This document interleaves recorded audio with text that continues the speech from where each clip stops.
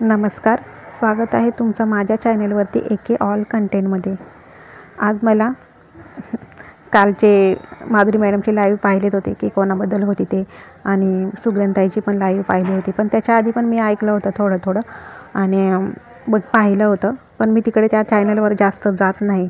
कारण सपोर्ट केला होता आधी ते पण माधुरी मॅडममुळेच केलेला सपोर्ट त्यांना. पण जेव्हा त्यांनी एक दिवस आहे ना असं कोणाला तरी असं म्हणजे वाईट अशा शिव्या त्यांच्या तोंडून निघाल्या ना तेव्हा खरंच खूप बेकार वाटलेलं. तेव्हा थोडंफार असं मनात कुठेतरी वाटलेलं की हे बरोबर नाही आहे म्हणून. पण काल जे म्हणजे समजलं ना तर खरंच म्हणजे असं विचार पण करू शकत नाही की जी व्यक्ती बोलत होती की मी कधीच म्हणजे मंचासोबत असं गद्दारगिरी करणार नाही. आणि त्याच व्यक्तीने असं केलं. मला फक्त एवढंच बोलायचं आहे की ना जे मंचाला नावं ठेवतात ना हां तर मला त्यांना असं बोलायचं आहे की ना ते त्यांचे तुमचे तसे विचार आहेत. तुम्ही मंचावरच्या बायकांना म्हणजे सख्यांना तुम्ही वाईट बोललात. एक बोलू का मंचावरच्या ज्या सख्या आहेत ना त्यांच्या नकाची आणि त्यांच्या विचारांची पण सर तुम्हाला येणार नाही जे तुम्ही वाईट बोलता ते. काही लोक तर असे म्हणत आहेत की ना मंचाचे एक एक सदस्य सोडून देतात आहेत. सोडून जातात आहेत. एक एक करून कमी होतात आहेत. तर ही ना एक्स वाय झेडचा आशीर्वादच आहे. तर मला तर मी तर असं म्हणेल ना एक्स वाय झेडचा आशीर्वाद नाही.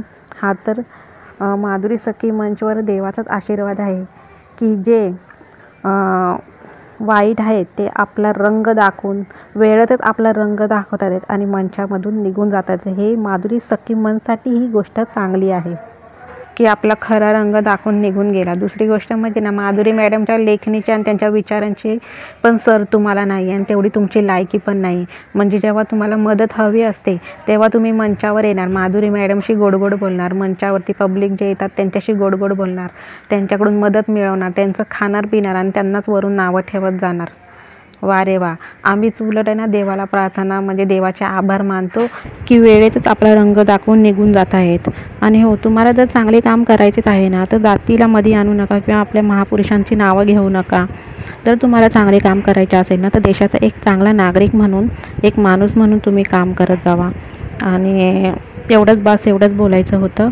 आणि स्वारी ह्याला म्हणेल की माझा आवाज थोडा मागे पुढे झाला आहे व्हिडिओजमध्ये कारण मला पुन्हा व्हिडिओ एडिट करावा लागला होता.